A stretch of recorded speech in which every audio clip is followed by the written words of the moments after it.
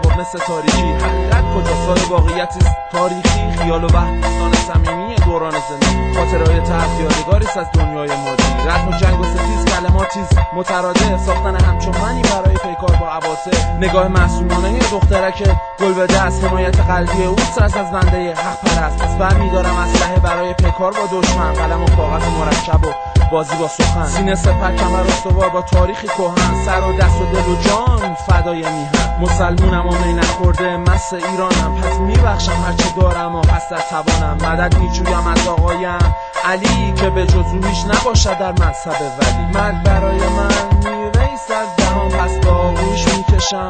با دل و جان که در جمع اشاق با بر جامان. نام الله بود همین مرد برای من میوه سر دهان پس با آغوش می‌کشم.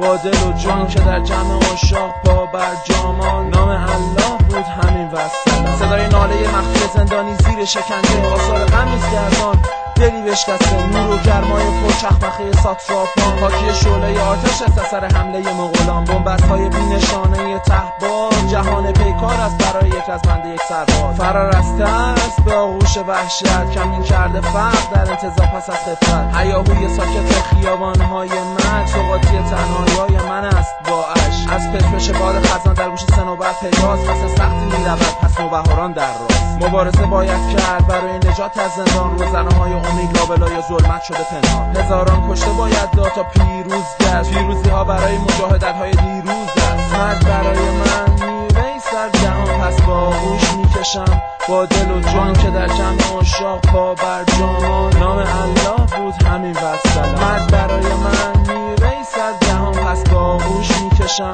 با دل و جان که در جمع اشاق پا بر جامان. نام الله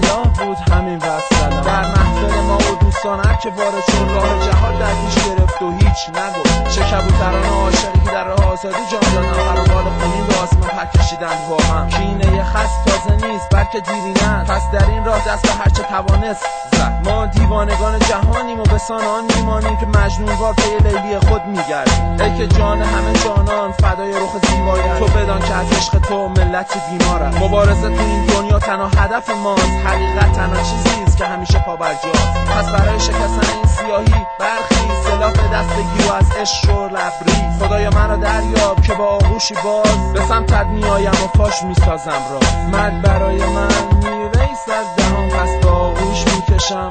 با دل و جان که در جمع اشاق پا بر جامان نام الله بود همین وصل. مرد برای من میوه سر دهان پس با با دل و جان که در جمع اشاق پا بر جامان. نام الله بود همین وصل.